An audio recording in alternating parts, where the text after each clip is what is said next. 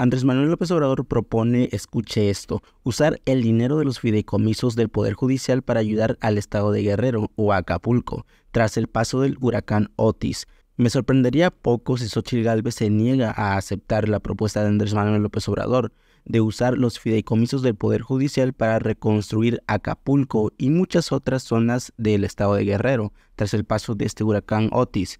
Además de eso, Andrés Manuel López Obrador propuso que el uso de los fideicomisos del Poder Judicial para reconstruir Acapulco dijo que los integrantes de este poder podrían formar parte del comité que vigile que efectivamente estos fondos de estos fideicomisos llegaran íntegros a los damnificados. Y aquí me pregunto cómo la oposición en general, llamándose PRI, PAN, PRD o MC, ¿cómo podrían oponerse a esto? ¿Cómo Xochitl Gálvez podría oponerse a esto? ¿Y cómo el Poder Judicial podría oponerse a esto? O mejor dicho, ¿cómo los ministros de la Suprema Corte de Justicia de la Nación podrían oponerse a esto?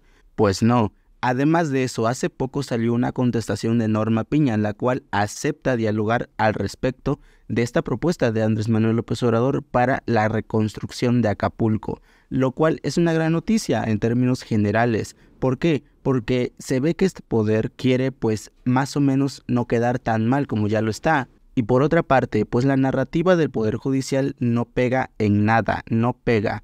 Eso de que el Poder Judicial defiende según los derechos de todos los mexicanos, pues parece más habladuría que otra cosa. Que si no hay fideicomisos para este poder, que este poder eh, no pudiera cumplir su función, que sería difícil hacer justicia o hasta imposible. Por el amor de Dios, si el Poder Judicial de por sí no tiene muchos resultados, al nivel de impartición de justicia es bajísimo y su nivel de credibilidad, de confianza, están en negativos.